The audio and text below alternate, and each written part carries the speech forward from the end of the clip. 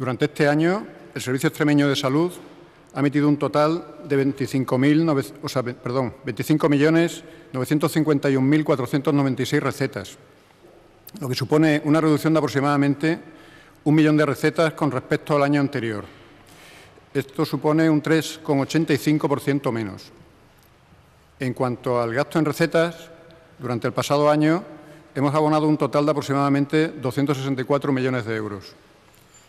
Este dato supone el mejor dato desde el año 2004, ya que desde ese año eh, el gasto de farmacia había ido incrementándose progresivamente hasta el año 2011, donde se produjo un descenso muy leve. Con respecto a los años 2009 y 2010, años de mayor gasto en este concepto, supone un ahorro cercano a los 100 millones de euros. Ahora, con respecto a la devolución de los excesos abonados por los pensionistas por encima de los topes establecidos, ya se ha iniciado el proceso de devolución correspondiente al mes de julio y este procedimiento se va a repetir mes a mes en los meses posteriores.